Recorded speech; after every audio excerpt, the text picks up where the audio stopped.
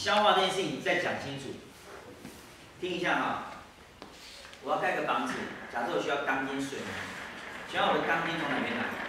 买你家房子啊，那房子运买啊，对不对？举手发言。来，你说。去买。去哪边买？或者或呃去去去材料行，或者或或者你可以盖工厂自己做。OK，自己做。怎么做铁？怎么做钢筋？炼铁跟。炼铁对不对？怎么炼？然后，然后就是要去要去请教炼金术师，可是那些就是那些会提炼东西。对，简单来讲，我告诉你们，就是从山上这块石头里面含有铁，把这些铁给熔出来，把它熔出来去炼铁，变成钢筋。那简单来讲，是从山里面挖。那如果说山里面已经挖不够了，很贵，怎么办？我可以去拆房子，把这房子的钢筋拆下来，再重新熔掉，再把它炼成钢筋，就可以再用，对不对？这叫做重新使用。对，这个回收使用。我们在吃饭也是一样，我吃进去的植物，这个植物细胞进去我身体里面，被我的细胞给打烂了。打烂了之后，会有另外一个细胞，会有另外一个蛋白质，另外一个酵素，把它再合成我要的钢筋，然后去把我的身体的细胞给变得更强壮，或者是让我的细胞变成两个，复制嘛。复制需要材料啊，不然你细胞怎么复制？我我我，你说复制就一个，就是说多做一个美。不是多做一个，多做一个细胞。这个酶呢，比细胞小很多，酵素比细胞小很多，酵素大概是细胞的可能几几万分之一倍，很小很小很小。这个每个酵素可以产生新的，把把那些材料再合成新的材料。这材材料可能是我这个细胞这边破了，怎么样换上去。这个墙壁破了，我把这个边换掉新的材料，懂吗？这叫修复。你修复一个细胞，你可以让细胞活久一点，啊，可以让细胞强壮一点。就是说，那那所以所以所以所以就是说，假假假假假如有次台风把那个把那个墙把那个墙壁摧坏，所以所以所以需要更多的材料对啊，没错。比如我们家台风来了，把我的窗户给吹破了，我要去买新的窗户来装，对不对？窗户你看，窗户需要窗的光是铝合金，铝合金也是要炼铝啊。我需要玻璃，玻璃要从沙子去去去生产，去做成玻璃。这些都是从材料再长出新的新的成品，再把它补到我的墙壁上去，对不对？这整个过程当中就像细胞一样修复。所以简单来讲，细胞更简单，是我吃进去别的细胞，然后把它拆烂，变成我细胞里面的材料，这样懂吗？这就是分解跟消化，然后被我吸收了。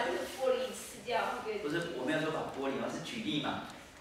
对房子来讲，你要的是玻璃跟钢筋。是房子把那个玻璃跟钢筋吃掉。你你你一定要你一定要这样解释吗？你没有对比我刚讲的意思吗？嗯。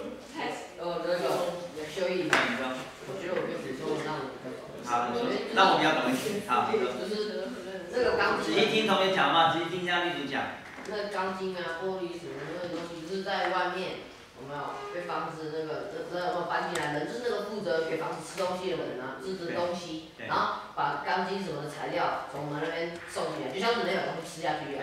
然后这里面来以后呢，把它弄成这个房子可以用的东西，然后再装上去，就是把它吸收了。但这过程当中，我们人呢，就好像是那个镁是酵素一样，我们负责把房子拆烂，我们负责把房子装新起来。你看哦，在这个你看所有所有这个食品呢，看它后面都有营养成分，有没有？那也说里面有糖啊、有钠啊、有蛋白质啊、有脂肪啊什么什么，这些东西都是我们的材料，都是材料的一部分。它进去我们身体之后，只是它变成它现在这里面不是以细胞方式存在，它已经变材料了。脂肪越多就变肥。有可能，有可能变肥，因为我有这个材料把它变成脂肪，啊脂肪它装你身体里面了，对不对？它就变就让你变肥啊，对啊，没有错哈。好，我们来看一下。所以在第九题里面，细胞分裂的过程当中，哪一个是确保你原来的特征？哪一个可以确保？就这个过程啊。这个酶呢，它负责负责把这个 DNA 做复制。所以 DNA 被复制完之后，你分成两个 DNA，你 DNA 到两个细胞里面去，都拥有同样的 DNA。所以这个细胞跟这个细胞都会长跟原来细胞一样。哎，啊，啊，为什么不会？不会一模一样。不会一模一样，什么意思？嗯，那还是会有别的改变啊。为什么有别的改变？这是突变吧。突变的几率很小，突变几率很小，所以大部分是一模一样的。我们讲的是细胞分裂的过程，大部分是一模一样的。细胞突变是几率非常非常小，啊，但是有可能发生。为什么？像你看现在流流感啊，每年流感都会出，每年都出新的新的型的流感，旧的型呢可能被你的疫苗给杀死了，那就出新型。那新型怎么出来的？啊，基因突变啊，基因突变的过程当中，它产生一个对你现在的疫苗会抵抗的新的疫苗，因为新的新的病毒，它不会被杀死。啊？就无无法抵抗你那个。你旧的疫苗就没办法抵抗它了，你要做新的疫苗，啊，我们要开发新的疫苗，所以每年新的疫苗都会再推出新的疫苗什么叫每年新的疫苗推在推？啊，每年都会推出新的疫苗，不好意思。好，接下来我们看一下无性生殖啊，什么是无性生殖？什么是无性生殖？什么叫没有性的结合？不需要提供配子的结合。配子。配子对，配子什么？是首先实现结合。哎，简单来讲啊，简单来讲就是不需要交配的生殖，不需要交配的过程，因为那动物，动物也有，植物也有，交配呢就是在交换配子。什么是配子？我们还没有讲到啊，但是你可以看一下课本这边，哎，哪边讲减数分裂？没有，没翻到了。啊，我们看课本的第一至一节，它讲细胞分裂，对不对？嗯。接下来我们讲一个减数分裂，对不对？什么是减数分裂？就是很慢很慢的不是分裂。不是那个减，你没有看课本吗？同学。那个它的里面染色体会减。为什么会减？不知道。好，简单来讲，同学，细胞分裂的染色体复制，来看这里。细胞分裂的染色体复制，喂，来看一下这里啊，看一下这里，细胞分裂的染色体复制，它有个有个消化酶在这边，有个酶，这个酶呢，它把这边的基因复制到这边来，它把这边的基因复制到这边去，它复制对不对？可是呢，染色体在做减数分裂的时候呢，它这个酶不做复制哦，它只把它拆断，直接把它切掉。它只把它切断了，切了它，它切断它，它就把它切断，所以出来的染色体会变什么？就是变分解啊。就只有单边的，它只有单边的染色体，它只有单边的基因，就单边的 DNA，嗯，只有单边，它没有两边，懂意思吗？懂意思吗？懂，真的懂意思吗？应该懂。懂。简单来讲，我们的 DNA，我如果说不要螺旋画的话，我们画成一条哈。假设这边是箭头，箭头对箭头，箭头对正方形，箭头对圆形，箭头对正方形。好，这里面的三角形、正方形、圆形、三角形都是基因，对不对？我现在有一个复制体在这里，我复制的时候呢，我下来就像就像拉链一样，我把拉链拉开，对不对？那个复制体就像拉链，我把拉链给拉开。跟拉开的同时呢，拉开的同时，我们是不是就分开成这样子？解放，有解放之手。先是三角形，对不对？接着是球形，接下来是正方形，接下来是三角形。但为什么它那个跟你原本画的不一样？三角形，三角形，正方形。好，我这个拆开的时候呢，这个染色体在拆开的时候呢，我同时间这边做一条出去的。这个会复制到它，所以我这边做一个三角形给它。我这边准备做另外一个三角形给它，要给给这个用。同样的，我这边染出去的时候呢，我这边做个三角形给它，这边做个正方形给它。啊，这就是复制，这叫做复制。我拉链拉开的同时，这个拉链那个拉链那个头啊，同时会复制一个跟它一模一样，跟对面那个一模一样的东西。可是呢，减数分裂是这样，减数分裂它直接把它切开成两段，它不复制了。直接把它切开了。这个切开之后的这一块呢，跑进去一个细胞里面，就跑进去另外细胞里面，这就叫配子。这叫配子。OK，所以差别是这样，这叫配子。配子的染色体是正常染色体的多少？只有一半而已哦，它只有一半而已哦。一半。只有一半，对，只有一半。那个一半不是？二分之一。哎二分之一的量就二分之一的量，简单来讲这样。好的，那我们先讲有性生殖好了。有性生殖就是说，有一生就是当父亲的父亲的配置，啊，父代的配置跟母代的配置结合在一起，哎，它结合在一起之后呢，它就变成什么？它变完整的啊，是不是？它就变完整的 DNA 了，所以它就完整个体长出来就是像个人一样，对不对？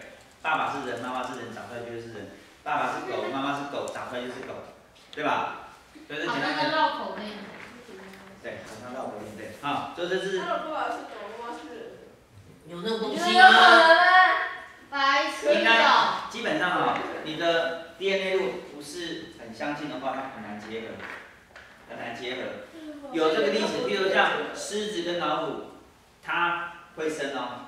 狮子跟老虎有时候它们的就是公狮子母狮呃公狮子母老虎结合的话，有些动物园它会让它们交配，生出来的就会长成一个叫狮虎的东西，或者虎狮的东西。那但是它会长出来，它长得就有点像狮子，又有点像老虎，会有点怪怪？啊，对，驴子跟马的交配会长出螺，对，驴子跟马的交配会长出螺，那为什么没有人试过人呢？走开。就没有没有人要啊没有没有成功过啊，可能有试过，但是没有成功过啊。我觉得没有人试，因为那你可以去试一下。我觉得大家都觉得我什么人类比较好生，然后就开始想要啊，这个这个我就不知道啊，这个那蜜蜂会生啊？蜜蜂会生啊，好不好？蜜蜂怎么出来的？蜜蜂是本身是它是去帮交配啊，蜜蜂。蜜蜂是什么生的？哎，同学，蜜蜂怎么生的？卵生哦，卵生啊。我想起来了，暖生一啊，大部分的大部分的昆虫是卵生啊，大部分卵大部分昆虫是卵生的现在是可以家出看出来对不对？啊，我听成卵生。卵生的卵生。卵好。啊，温温卵，所以有性生殖是做配子交换，那配子交换就是经过交配的过程，它产生一个配子交换。好，那以动物来讲是通常是以交配的方式的，那以植物来讲的话，它可能就是类似像花粉啊、随风飘散啊，它这个雄雄蕊的那个花粉飘到雌蕊的柱头上，它就会跑进去它脂肪里面去，就会形成交配，好，跟它的卵子交配，好。好，那无性生殖比较简单，无性生殖怎么教怎么做？哎，就是把自己里面复制一下，然后丢进去。你讲的是单细胞的无性生殖啊，单细胞无性生殖其实就是一个细胞分裂哈，分裂的过程。可多细胞生物的无性生殖呢？多细胞生物的无性生殖怎么做？多细胞的无性生殖怎么做？你一定有经验的。我们譬如有一些树，你把它砍那个树枝砍起来，去插水里面，它会活哦，没有，啊？你没有经过，没有经历吗？没有经历。有些会活嘛。啊，这叫插枝啊，有听过插枝吗？插花吧，插枝。插枝不是插花，插枝哈，插枝。就一把树枝，你可以试一下啊，像那个像茉莉花就很容易插枝，你把茉莉花剪一段，茉莉花的那个树枝剪一段插到土里面，在春天的时候，它很容易就生根，就会发芽，就长大了。那、请问你这个茉莉花的这个树枝剪下来插到土里面，这中间有没有有没有交换配置？没有，没必要。什么叫没必要？没有交换配置。它没有交换配置，所以你这个插到土里面长出来的新的茉莉花，跟原来茉莉花一不一样？一不一样？不一样，为什么不一样？为什么不一样？因为坏掉了。哈哈哈，好好笑哦，是这样吗？什么叫运动坏掉？我听不懂哎，同学，你可以知道就讲，不知道可以先听听看，先听听看别人怎么讲，不见得要讲，好不好？你讲一个你可能知道答案或不知道答案，那讲一个很好笑的一个结果，没有意义啊、我们插枝的树枝如果长大之后，长大的这个树枝的 DNA 跟原来的树的 DNA 一不一样？一不一样？一不一样？为什么不一样？是一样还是不一样？一样，为什么一样？因为它是由那一棵无痕树里面的接触其中一段，所以那一部分那一段拥有整棵树里面所有的东西。OK，基因呢。基因，对，它拥有所有的基因了，对不对？我这棵树，Hickory tree。Hickory tree 我问一下啊，这棵树，这棵树里面的，这棵树里面的这边的细胞，跟这边细胞胞，啊，树也有细胞。废话，你们上学有没有观察过植物的细胞？细胞质、细胞壁啊。我，观察过植物的细胞嘛？啊，问一下，这边的细胞跟这边的细胞，它的 DNA 一不一样？呃呃一样。一样的一样对不对？，因为它很长的一条，很长的一条什么意思？你说一它从个染色体啊。对对，跟染色体啊，很长，很长，跟这个有什么关系？那是树啊，哦，那不是它不管染色体染色体再长，它都在一个细胞里面哦，它不会伸出去哦，它都在那个细胞里面。啊，染色体很长，也是在那个细胞里面，它只是绕成一个杂七杂八，跟毛线团一样绕成杂七杂八，在那个细胞里面。对，但是这个细胞跟这个细胞的染色体不会连在一起哦，对吧？它独立的细胞，可是这个细胞跟这个细胞里面的 DNA 一不一样？一样哦。你看哦，原来的一颗种子，你看过植物的种子没有？看过植物的种子没有？有啊，我看过。看过哈、你吃橘子里面就有种子嘛，种子就是一个细胞，有啊，麻辣籽吃下去。种子就是一个细胞，一个种子就是一个细胞。你说我有疑惑，那为什么为什么有人吞西瓜只吞麻辣籽，然后我身上不会长麻辣籽？因为胃酸会把它消化掉。有这个例子哦，曾经有人不小心呼吸啊，他吸到一个松树的种子，啊，在国外有个例子，那在种子在肺里面就发芽。然后嘞，然后发芽那就很痛啊，啊很痛就开刀啊，那奇怪怎么会有什么病？找不出病原因啊，就开刀啊，那个就把那个树给拿出来，长一棵树啊。就长一个小树啊，已经发芽了小树苗这样的，啊，很很厉害哈、那这样，它它不是要穿透？它不会穿透啊，它没有阳光啊，那也活不久啊，可是就卡在你肺里面你就不舒服啊，会痛吗？当然会痛啊，它就是因为痛才去看医生啊，啊。你一样啊，你吃的植物，你如果不小心它停留在你身体的话，它如果停留在身体的话，它是有可能发芽的哦。哎呦，可是你一般吃种子，它不会停留在身体，是因为你身体的细胞，你的消化系统一直在蠕动嘛，它一直往下推起啊，所以那天就在你肛门旁边排出去啊，对不对？那可是你你呼吸啊，旁边，你刚刚说肛门旁边，我听不清你说什么，你刚刚说肛门旁边再推出去。肛门旁边，我用画出来吗？好，这是直肠。这边是肛门的话，这边是肛门的旁边，算不算？一个种子，一个种子，它开始长出树芽，它开始发长出根。请问啊，这个种子长出树苗，长出叶子，长出根，它在做什么分裂？呃，做细胞分裂是细胞分裂吧？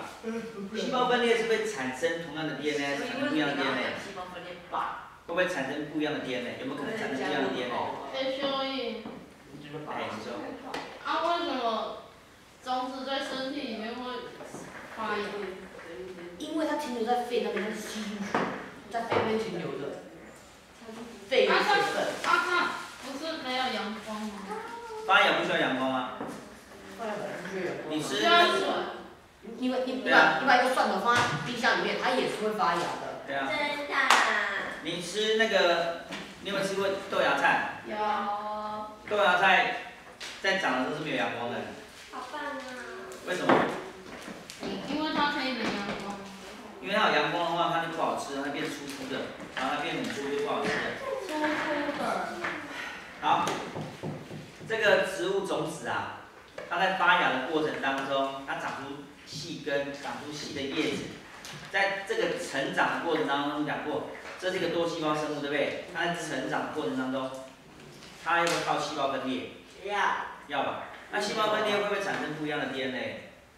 嗯，不会啊。不会，基本上不会产生不一样的 DNA。细胞分裂怎么产生不一样的 DNA？告诉我。啊，它不会产生 D 不一样的，因为你看细胞分裂在这边我们讲了、啊，课本上已经讲了哈，就叫做直接是染色体复制，染色体复制到另外一个细胞里面去，所以它的基本上你复制前跟复制后的 DNA 是一模一样的，所以它基因是一模，除非突变，对，除非突变，但是一般来讲，在这个过程当中没有什么突变的话，它长出来是一模一样。所以这个叶子啊，跟这个根的染色体一一模一样。然后慢慢的这个植物越长越大了，植物越长越大了，植物越长越大了。它上面的叶子，它上面的叶子跟它长出来的根的细胞，这个叶子的细胞，叶子的细胞跟根的细胞有没有 DNA 一模一样？一样哦。DNA 是一模一样的哦。接下来把这个树枝，我把这树枝砍下来，我就插到土里面去。请问这个树枝的 DNA 跟上面 DNA 一模一样吗？一样啊。一样嘛。这个树枝就继续长根，它继续长大。那个叶子我刚凋零了。它可能凋零掉下来啊。这个树枝长大之后，请问这树枝上的 DNA，这个叶子上的 DNA，跟原来这根植物的 DNA 有没有一样？有没有一样？有一样。所以这个整个生殖过程，这生长过程叫做有性生殖还是无性生殖？有性生殖。我这大胆。都是一模一样啊，当然是无性生殖啊，它就是直接是复制过去的。原来简单来简。单来讲，哎，陈瑞啊，拜托你不要一直看他们啊，怎么都听不懂呢？你坐到这边来，你坐到这边来，终于，你怎么嗯。你根本就没在听，然后我在问的时候就讲一些刚刚讲过的名词，然后就讲个讲个颠倒的结果，那到底是，然后就听说你听不懂，你哪里听不懂，你根本没在听啊。所以这样子就是动物的无性生殖，呃，这植物的无性生殖。好，那动物呢？像涡虫。哦，我知道，涡虫是什么东西。我知道，我看过。哎，我抓我抓到涡虫，你们如果有机会看谁可以抓到涡虫，涡虫是什么东西啊？等一下再解释，你说。我知道不是嘛，它就是对一半，然后头有有头和尾嘛，对不对？然后嗯，头的那一半是长出尾巴，尾的那是长出头，对，是。这下一个我给你看影片啊，这个涡虫很厉害啊，它不止这样，它不是切干啊，得得得得。他们做实验啊，他们把涡虫切七段，这样子。好恶它切成七段之后，它变成七只啊。它切七段，它每一段都可以长出新的一只。这众生杀不死哦。嗯，杀不死，这种基本上杀不死。那如果用胃酸杀死，是不是？胃酸有可能可以杀死，但有可能杀，因为这种低等动物哈，它适应力，它适应力很强。所以呢，有些有些寄生虫，有些寄生虫你吃进去肚子里面，它会让你身体长大啊。像听说以前哈，以前那个卫生条件比较差，有人吃进去那个肥虫的卵，肥虫在蛔虫，蛔虫对不起，蛔虫。肚子里的蛔虫在身体里面长，它最长有的可以长到一公尺长哦。你看一公尺长多可怕，对，啊，它一公会怎样呢？它会吸收你养分啊。它有可能会让生啊。它不会这样的。你知道你身体的小肠有多长吗？小肠。身体的小肠五至九公尺。大概四公尺以上啊，身体小肠在里面上有五公尺吗？四公，我不知道五公尺，可能有吧，四公尺。那它就是在那个小肠里面，就跟着小肠绕绕来绕去。它最长可以到一公尺以长哦。有人抓，就是以以前的记有听过是有抓有那个蛔虫被拉出来是一公尺长，很可怕。我怎么会断掉？有可能会断掉，它其实就是我没有真的看过蛔虫，所以我不知道它到底长什么样，我们可以查一下。可以查一下。然后有些寄生虫哈，有些寄生虫它会随着你的血液血管扩散，嗯。然后它，比如像我知道那个看那个不不是 Discovery，它有影集，它讲医疗的，它就到脑里面，它长到你，它随着血管扩散出去，扩散在脑细胞旁边，就它就这样长大了，它在脑里面跑来跑去，所以那个人就会说啊好痛头很痛，或者觉得身体麻痹会发疼，因为它压迫了你神经，啊，所以有些寄生虫，所以不所以见得。它一定要拔出来。对，要把它拔出来，或者要消毒。那所以说回这个涡虫，它吃进去会不会被胃酸杀死？不一定啊，不一定，不一定你你的胃酸杀了死。所以你不要去吃它啊，里面没有啊煮的熟吗？煮的熟啊，煮的熟，当然煮的熟啊。所以一般来讲为什么讲在哪？啊，涡虫是在水里面啊。一般的有些涡虫它一般来讲它很难杀死，所以只要有涡虫啊，他们他们养虾子、养鱼啊，那个观赏那个水族箱里面，只要有涡虫啊，基本上那个在鱼都养不活。因为涡虫很容易把鱼吃掉，它粘到鱼身上，那就会注射一些会麻痹让鱼麻痹的东西，然后就把鱼给分解掉了哈。跟有点像，有点像蜘蛛啊，蜘蛛吃吃昆虫怎么吃？可爱。它就就粘在上面啊，就粘在它的网子上。这样就吃掉了，但不是啊有人查到，怎么样？蛔虫？哦，对啊，对啊，对啊。长这样那么恶心，对对对。图片可是那么可爱。啊，图片可爱。虫。你看那个图片超可爱的。是窝窝虫还是肥蛔虫？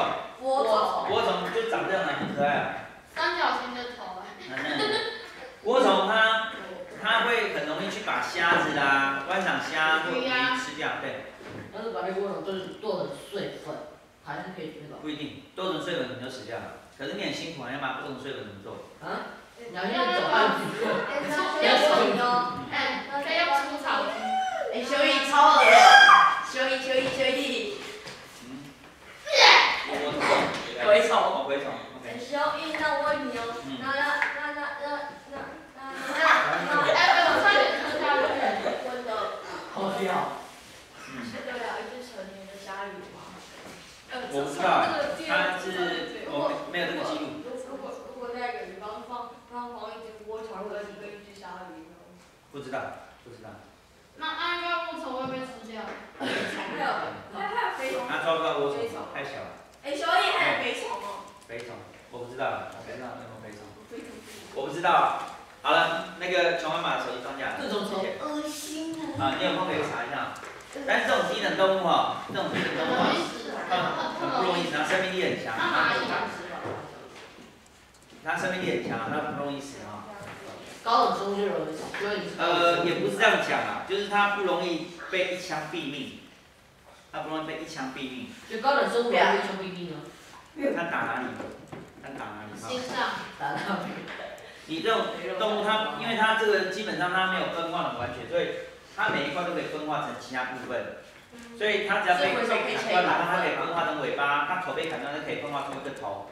哦，像海星也是一样啊，海星不是，你们这边切断了，它这边会长出新的，这边会长出新的。那我想到海星。啊，海星也是这样，它会复制出来，所以这都是无性生殖的一部分哈。其实叫做什么？这叫断裂生殖啊，这叫断裂。所以蛔虫可以切成一百份。什么？蛔虫切一百条，然后。蛔虫不知道可不可以断裂生殖哦。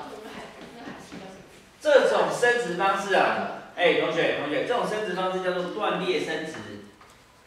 断裂生殖。断裂生殖基本上就是说，我们把它切断的时候，它会长出来，这叫断裂生殖。啊，像啊，我像断裂生殖的动物啊，它它会裂出。我不知道，我不知道他会列出来，你去查。啊，那个涡虫可以切几段？我看过最多切七段。他切一百段。我不知道。你可以试试看，我不知道。你这样切很细也一百段。我不知道，这个也去试试看哈。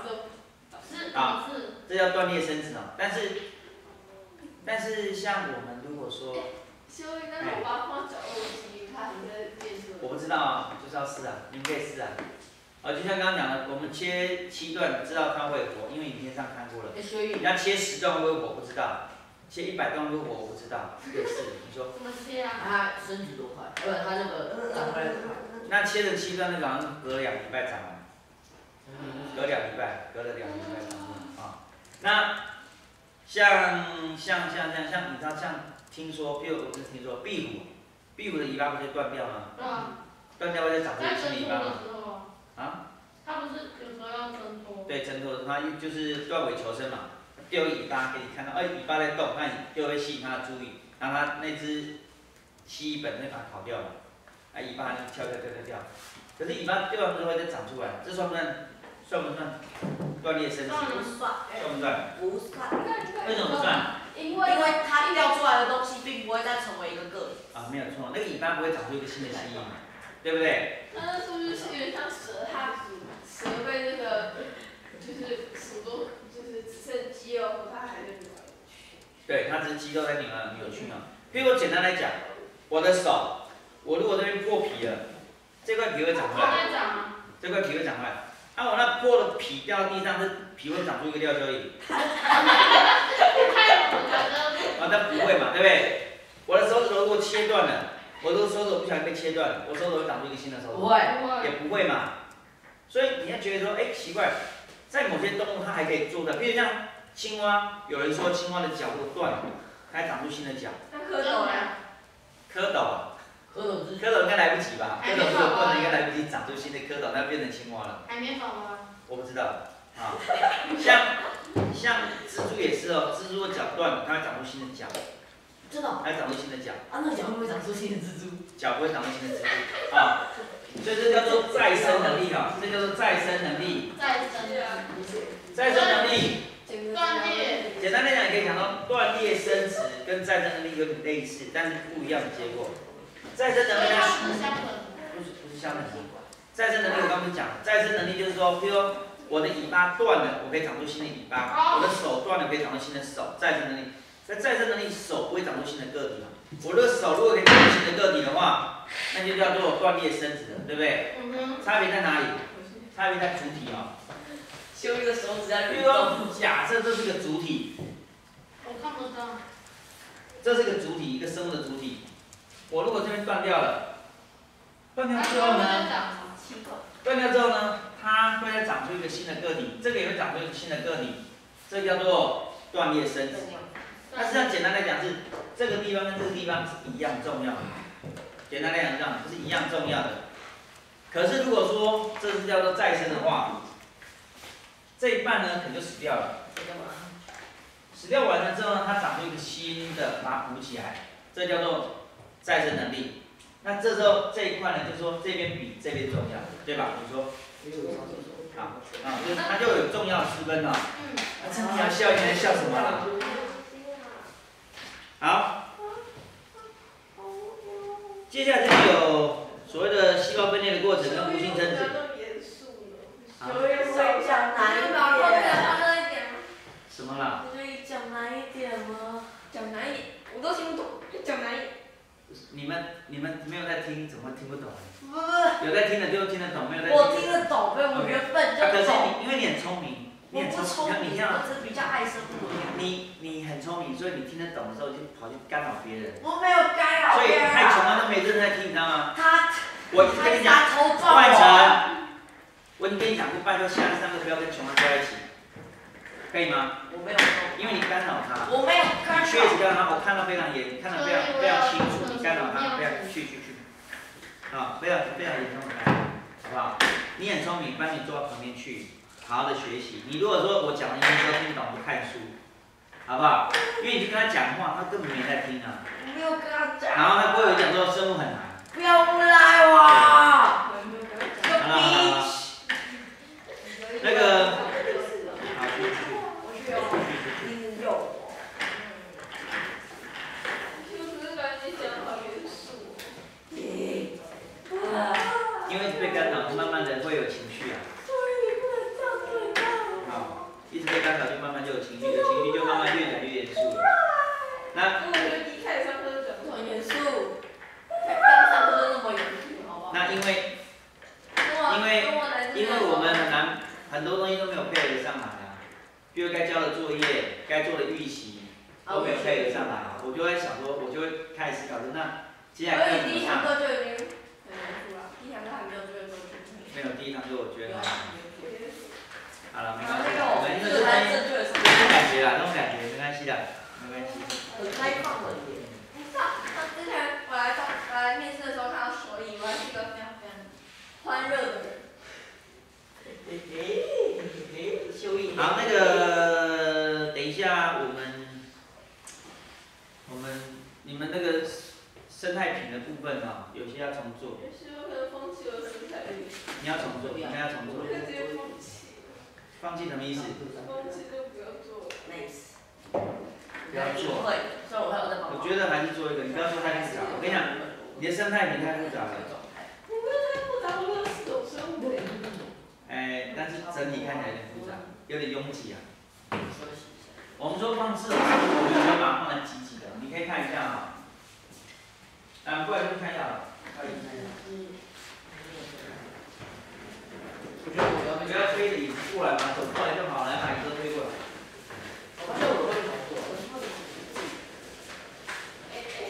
基本上我们可以参考一下，就是有活下来的生态品，像这已经快快三个月了。中间这个植物呢，就活得很好，而且它发很多新芽。这个植物死掉，因为这个是老的茎了，一般来讲是草根植物活一段时间内。啊，旁边边这一棵呢，这一棵呢旁边叶开始死掉，但它前面还在发芽，所以这个也算 OK。啊，那中间看哦越来越好。可是你可以想，你可以看到说，这个生态体里面它有没有很复杂？它里面生态其实很多，它里面大概至少有看得见的，至少有八种生物。哪八种？它有瓜牛，有田螺，啊。草的部分呢，草的部分就有一种、两种、三，我记得我放了四种草，还有五种草。好，五种草，那里面还有还有那个那个那个水藻，所以就在八种八种八种生物啊，就在八种生物。但是没有很复杂到它长不起来。那我们再看一下这个，这个算是比较单纯，它大概只有三种生物，看到三四种生物很清澈，这已经放两快两年了，啊。啊，它之前有放虾子跟鱼，虾子跟鱼都死掉了，他就剩下这样子。但是它至少至少它很清澈干净啊。对，那我们再看一下这个这个，这个呢？还有一个东西叫蠕动。这个它它就是这个也快两年了哈，你可以看到它就是它里面都有一些青苔啊，一些藻类的东西，然后还有这个水藻，水藻有一种，它是放一种水草啊。那里面一定有微生物嘛？微生物对，为什么一定要微生物？里面一定有微生物，为什么？养分。嗯，不单是养分的问题。制造出二氧化碳。没有错哈，植物生长需要二氧化碳。如果它没有任何的动物的话呢，没有任何微生物，它早就死掉，因为它微生要需要微生物。所以它没办如果没二氧化碳，它没办法生稻。对对对，没有错哈。所以你看，这里也是一样嘛。这一个呢，这个。这个一开始我都觉得它快死掉了，可是它有活下来，像这个，这个就死掉了，这个就死掉了，它的植物全部都死掉了，它现在只剩下青苔嘛，青苔活下来。我观察，为什么要掉掉？它的微生物都死掉，它微生物，它其实上事实上应该是说，一开始我的微生物太多了，微生物太多呢，多到呢它的养分或者是一些。氧气量可能没有错，氧气量不足之后，微生物先死掉，微生物死掉之后呢，变二氧化碳不足，植物就跟着死掉。可是一些比较低等的，比如像这个青苔呢，它就活下来，啊，青苔就活下来，啊，青苔就活下来，那这个基本上都死死掉了哈，OK。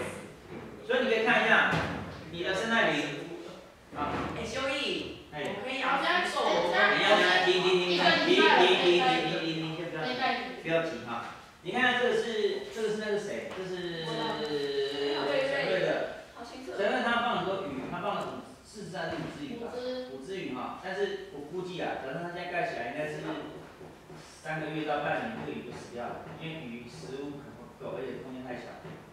啊，空间太小，但是没有关系，可以观察看看。我养鲨鱼。那你看像这样，这样子基本上还算还算 OK，就是其实如果我要建的话，是鱼可以再少一点，大概两只鱼就好。不要太多鱼啊，然后水草呢也可以稍微少一点点，这样比较容易观察，它比较容易活动。好，OK。一个礼拜应该就要盖。这个。这可以盖起来。可以盖起来哈。可以盖起来。然后你看一下这个。你先看一下这个。这谁？我知道，我知道，没有。这个呢，你可以看一下嘛。这个基本上它现在放法跟放纸的没有差别。露水生，这不是露水。是水生。你知道为什么没有差别吗，同学？不知道。因为你基本上水已经满，当初要放血的意思说我们可以有保留一段露生，保留一段水深。可是你现在是全部都是装水装满，那有没有什么没有必要一定要放血的？我没有意见。哦，没有意见，我觉得是你自己决定哈。你要放血的 OK。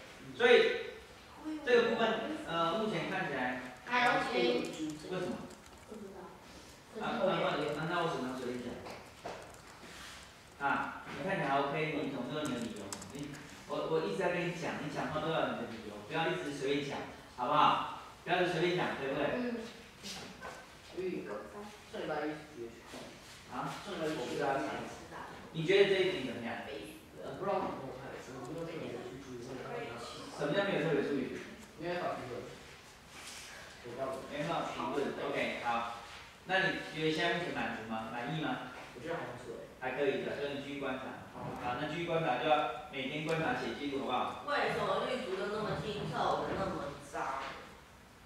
你看啊，你看啊，你看像这边，你自己决定啊。送人清查，我跟你讲哦，你这个植物上有太多的那个那个什么，绿藻，所以那上面都毛毛，有没有？挤的那个水草上面都毛毛的。好，但是没办法清没关系，都这样子。它有一段时间，它慢慢的淘汰掉之后，它经经过个淘汰，它就会不见，它就会长出新的叶子。啊，OK，好，就先放。那个那个那个那个本来就完全密封因为我那时候才放我一般都会密封，它可以稍微里面密封。所以我那时候才放一株独立进去，然后它变成这样 fruit 很容易长。呃，其实你要观察，容易观察，你要看一下，就是你放在角度，像那些雾雾的就不容易观察，你给它调一下角度哈。为什么有这样子？这里是学，好怪啊。没到这里是 OK，好。空气对，问题。加入了。这是怎么回事？所以是怎么回事？你刚刚你是不是注水？注水什么？这是生态瓶啊，不是这不是生态瓶，这是天气瓶。天气瓶。那我什么时候会？哎，你有空就可以做天气瓶啊。来，我们看看一下十一的，十一的有点有点惨了哈，他的鱼已经死掉了。我知道，我大概知道原因，因为他做的是水生的啊，可是他那它水放太少了啊。对，你是水生的，水太少。不到我的鱼水太少了你看这植物也死掉，这植物也死掉了。你的鱼死了。对啊，你这个标签，我这是哎，你我我是泡水马上做。那你这里要重做，这里好不好？大家有做好了。重做。哎，所以我这个一直死了，这里。对，记录下来，哇靠，有花有脚哎，记录下来，记录下来。蜗牛不是蜗牛吧？是我，是我了。我这不是我还是一般的田螺？一般的天。这哪找这的？田螺对。那个啊，不不是。对那个水吧。你说我，nice，你说我吃素的，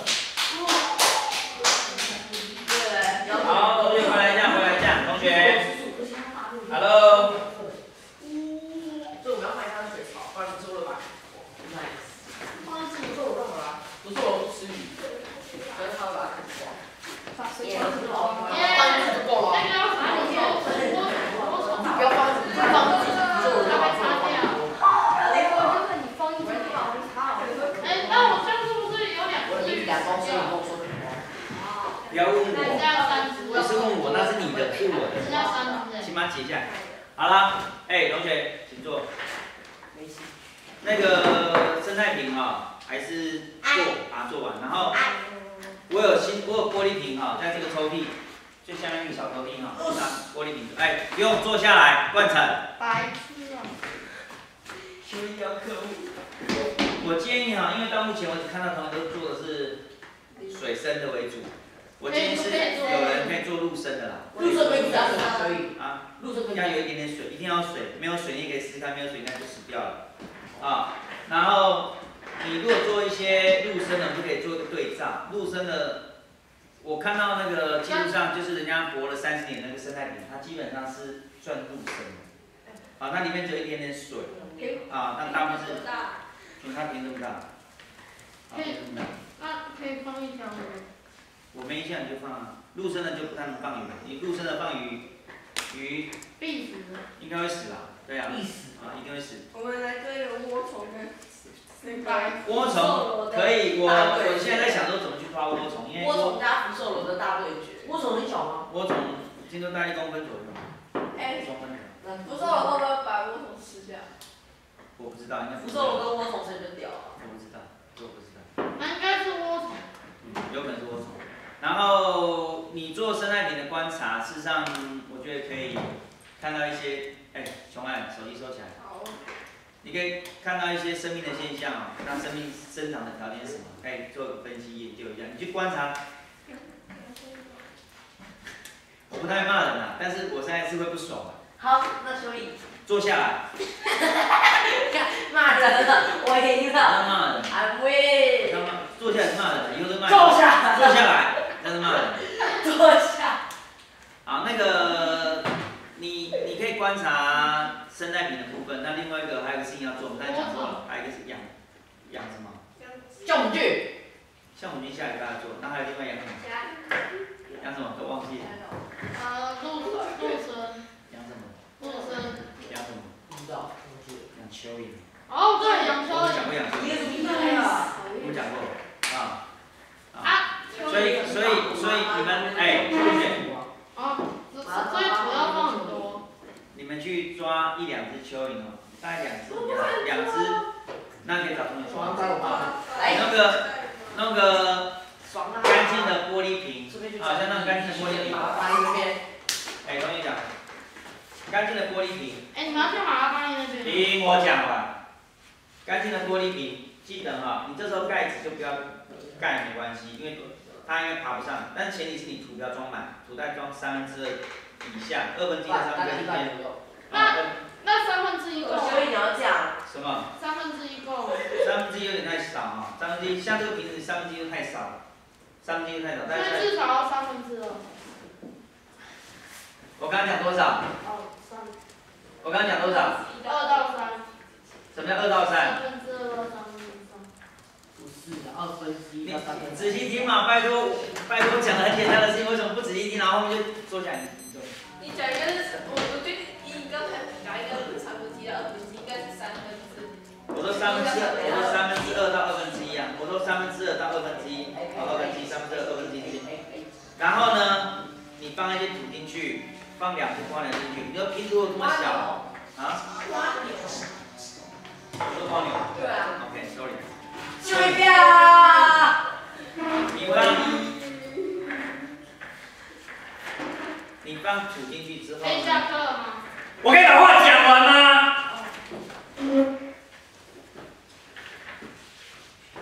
我永远没有办法好好把一句话讲完。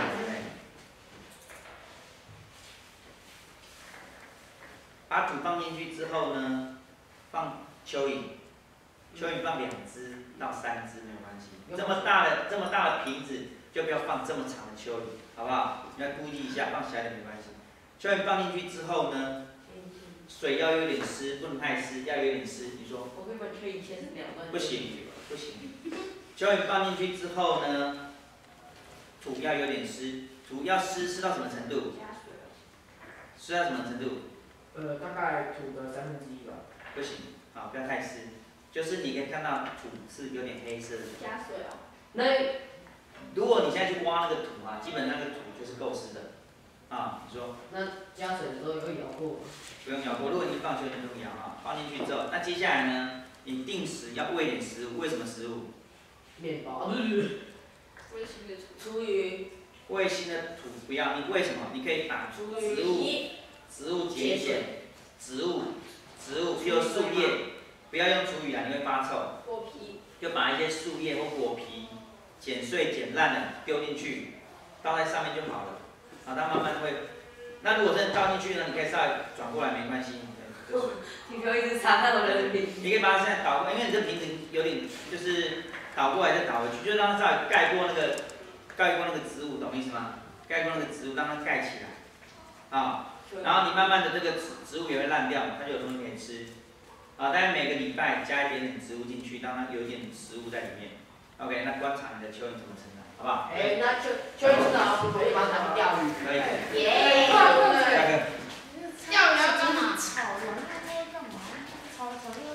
我忘记看他你不是负责摄影机的吗？他咬舌子。所以这玻璃瓶怎么用啊？怎么怎么样？